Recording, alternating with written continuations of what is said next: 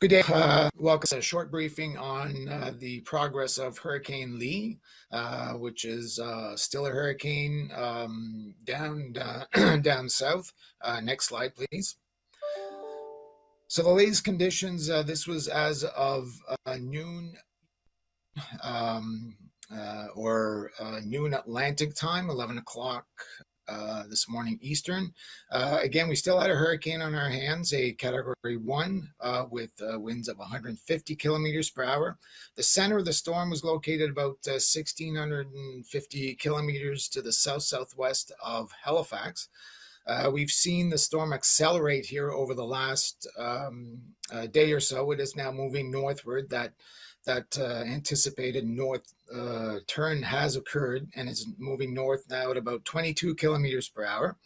Um, and that would uh, bring it into our response zone on Friday, uh, again, prob- most likely as a hurricane. Um, so, next slide. So just going through the uh, expected track, this is kind of a, a large view of uh, the expected track of the storm.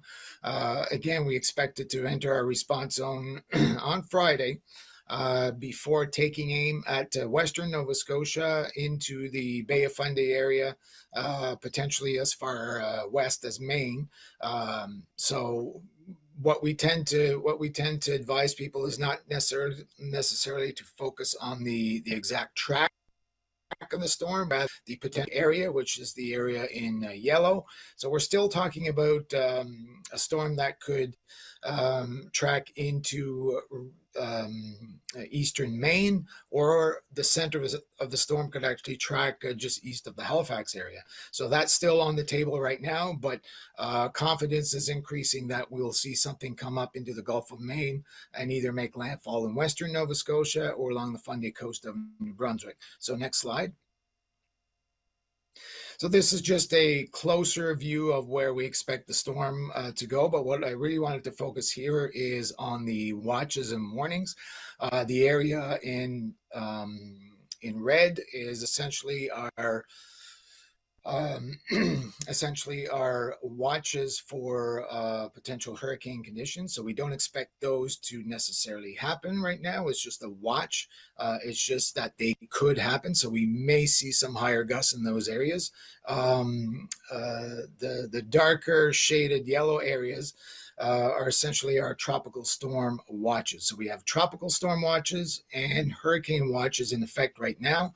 Uh, it'll be important to watch for any changes in those watches, uh, whether they're upgraded to warnings or whether they're expanded, depending on the track of the storm. Uh, and I'll just remind uh, uh, folks that tropical storm uh, watches are for the potential for winds in excess of about 63 kilometers per hour, where a hurricane watch is.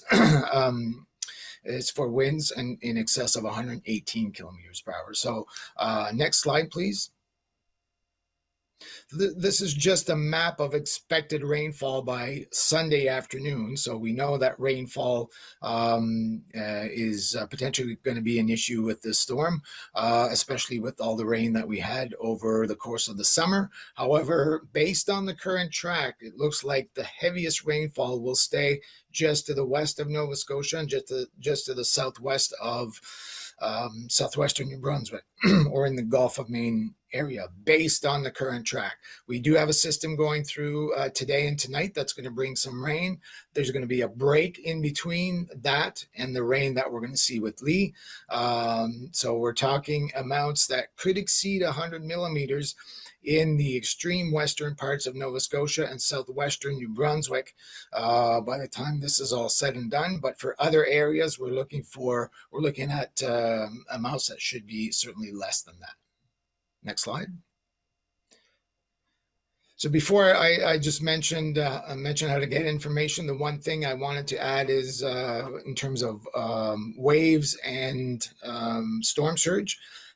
whenever you have a storm of this nature approaching, uh, we will get a, a, a, rise in water level at the coast, uh, so elevated water levels. Uh, so we are going to expect we are expecting waves to reach the coast uh, later today into tonight. Um, and uh, those will continue to grow over the course of the next uh, couple of days uh, into Saturday as well.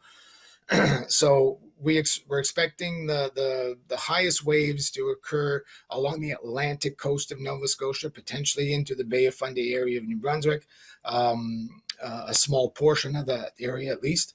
Um, so that is something that in terms of any kind of coastal impacts, we have to wait to see how this uh, storm surge is going to coincide with the with the tide of the day. Uh, so we'll know more information as we go on, and you can get the information in our bulletins. That's on our website at uh, canada.ca/hurricanes, or for information on how to get prepared for storms like this, uh, you can go to getprepared.ca.